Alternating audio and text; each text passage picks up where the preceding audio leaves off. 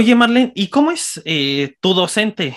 Me refiero a que es, por ejemplo, regañón, es muy buena onda, trata, digamos, como mm. que de hacerlo como sus amigos, o cómo, es él como docente.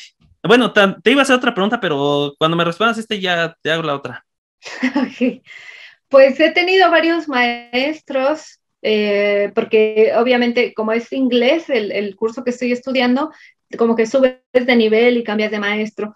Entonces, la primera maestra que tuve me encantó la clase, creo que ha sido una de las mejores maestras que he tenido en mi vida porque me nos ayudaba bastante, o sea, e, a ella no le importaba tanto como, tenía una estructura muy bonita de la clase, eh, pero lo que más me gustaba de ella era que a ti te dejaba hablar, o sea, te dejaba que te expresaras lo que quisieras y no importaba que te equivocaras. Y eso a mí me ayudó mucho con la confianza, porque yo era bastante eh, tímida para hablar inglés cuando llegué aquí y, ella me brindó esa confianza como para hablar en sus clases.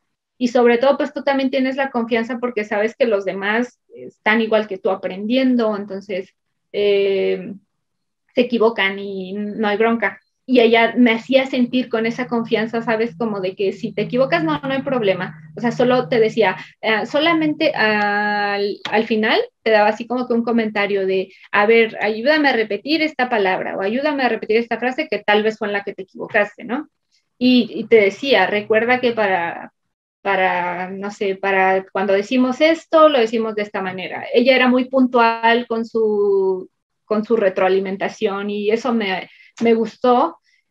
Mi otro profe que tuve fue también muy lindo. Obviamente todos estos profes son nativos porque tienes que agarrarle al acento. Entonces, eso también me, me, gustaba bastante porque les puedes preguntar como de, oye, ¿y cómo, cómo se, cómo, o sea, de slang, les puedes preguntar mucho. Entonces, ellos son bastante buena onda, son muy alivianados todos. El segundo profe que tuve, él era bastante divertido. Eh, era mayor que la otra maestra, ella era más joven, pero eh, él era de Nueva Zelanda y, era bastante como muy divertido, pero eh, tenía una estructura un poquito más aburrida de la clase, yo creo que porque era un poquito más tradicional, como que le gustaba más que leyéramos.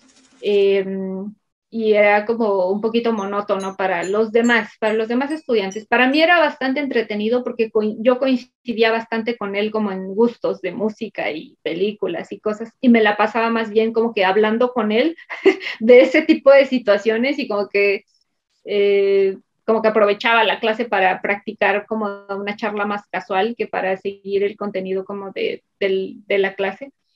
Y con este profe que tengo ahorita, em, él, él es muy entregado también, creo que pues obviamente trabaja fuera de clase como, pero su trabajo es como de pues revisar obviamente las tareas que nosotros mandamos. No son grupos numerosos, en realidad son grupos de, de menos de 10, o sea, el grupo más numeroso en el que yo he estado es este precisamente, que son como unos 12 alumnos, pero cada semana igual iban renovándose. Entran nuevos, se van, entonces nunca es como que exista un número limitado de, de personas, pero sí son, se trata de que los grupos sean reducidos, pues.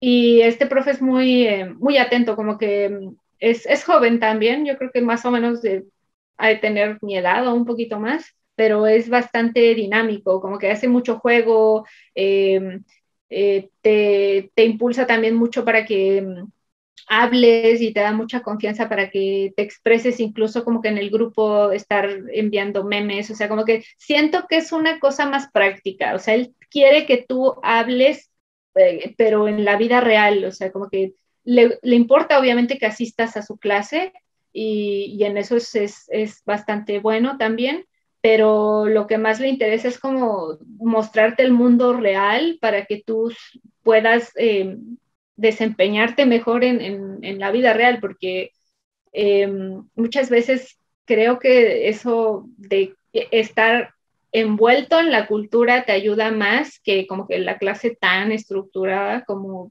como se podría hacer ¿no? en la escuela.